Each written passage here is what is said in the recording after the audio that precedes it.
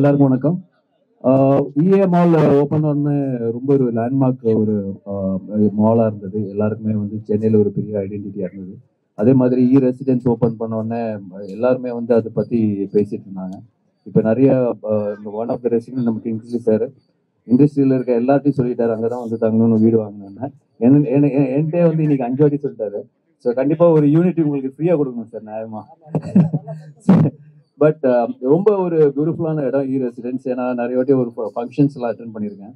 ரொம்ப ஒரு என்ன சொல்ற கிரீனரி ஒரு ஒரு ரிசார்ட் ஃபீல் இருக்கும். ஒரு ஹோம்லி பயங்கரமான ஒரு அட்மாஸ்பியர் இருக்கும்.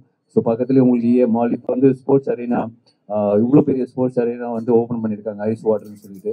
ரொம்ப ஃபேமஸான ஸ்போர்ட் இப்போ வந்து ரொம்ப வேர்ல்ட்ல எல்லாருமே விளாடுற ஒரு கேம் தான் pickle ball game so first time இன்னைக்கு தான் ட்ரை பண்ணேன். சூப்பராக இருக்குது ஸோ அவங்க வந்து இவ்வளோ பெரிய அரீனா ஸ்போர்ட்ஸ் அரீனா ஓப்பன் பண்ணி எல்லாருமே என்கரேஜ் பண்ணி ஒரு ஒரு ஒரு கம்யூனிட்டியை வந்து சூப்பராக ஃபார்ம் பண்ணியிருக்காங்க.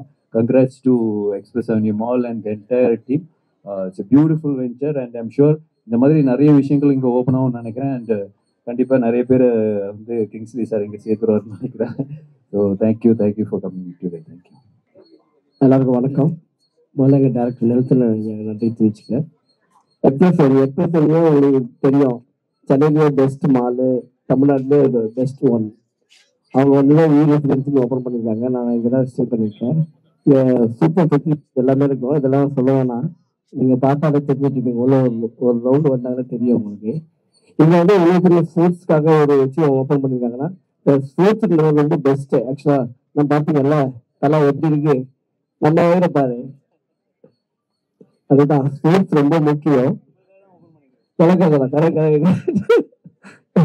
நான் நேற்று நானும் நேற்றுலாம் ஃபுட்பால் விளையாடிட்டு இருந்தோம். பயங்கர செட்டிங் அவரே சொன்னாரு "ஏய், உன் வாழ்க்கையில் இன்னும் ரெண்டு நாள் உங்களோட வாழ்க.